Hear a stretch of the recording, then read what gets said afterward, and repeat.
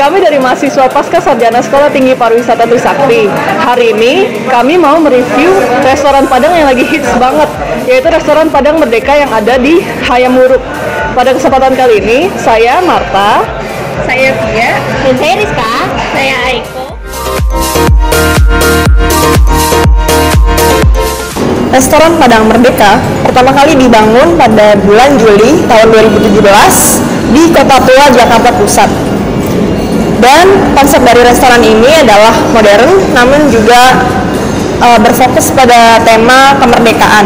Maka dapat kita lihat dari ornamen temboknya, dari uh, ornamen-ornamen lain, dan juga seragamnya dan lain sebagainya, kita dapat lihat bertemakan kemerdekaan. Uh, selain itu juga restoran ini akan uh, memperluas cabangnya di Jakarta Selatan sampai Jakarta Utara dan restoran ini lebih mengutamakan pada masakan Nusantara. Uh, karena dari luarnya aja dia udah menarik sih. Dia punya simbolnya di depan Padang Merdeka itu sangat-sangat nyentrik ya, nyentrik dan warnanya merah kan.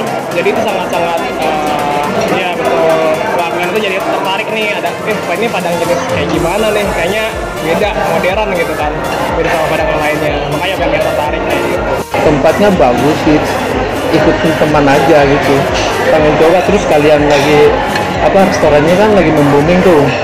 Juga restorannya bersih rapi bagus hits dan unik. Dan ada juga uh, icon-icon pejuang 45 tuh sumpah pemuda dari berpakaiannya terus uh, apa ya?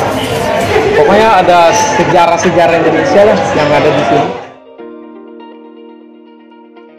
ramah cekatan Lebih enak dibandingin yang maksudnya eh, restoran Padang lainnya. Rata-rata kan restoran Padang kayak lama apa ya kayak konsepnya tuh jadul gitu kan. Kalau yang ini tuh kayak memang target marketnya tuh anak muda dan mereka memang bikin uh, di sini tuh uh, apa ya? Emang konsep di mana kalau misal kalau kalian nggak mau makan, ya kalian bisa nongkrong juga. Mereka kan juga nyediain kopi sama baget gitu kan. Jadi lebih enak aja sih ada semuanya.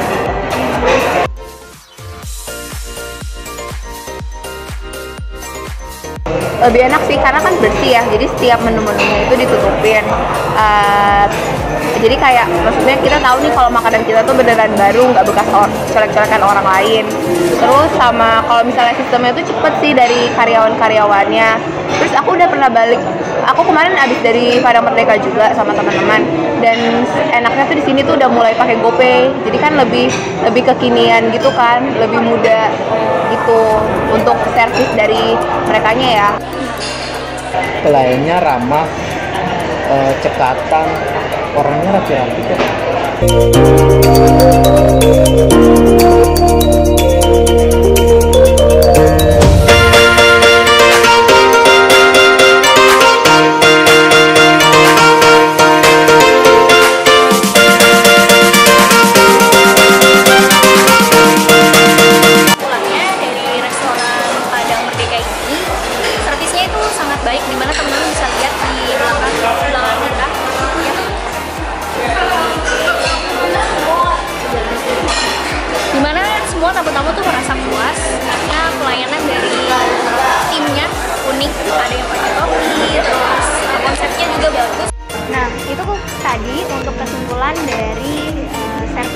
diberikan oleh rumah makan Padang Merdeka. Nah, selain itu, konsepnya pun diperhatikan, di mana kita bisa lihat banyak ornamen-ornamen yang bisa kita lihat di belakang, kemudian di sekitar-sekitarnya.